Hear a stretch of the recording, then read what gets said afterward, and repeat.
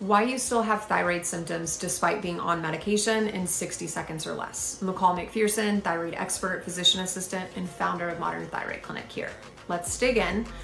Sadly, the number one prescribed medication in America is levothyroxine based meds. These are that, Synthroid, Tirosint, Unithroid. These are all inactive hormone, okay?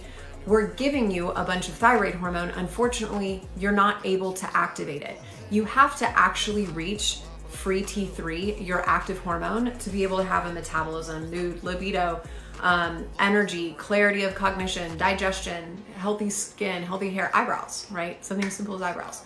So, because you can't use this medication to make your own active hormone, what's actually happening is all of that inactive medication is just sitting there in an unusable form.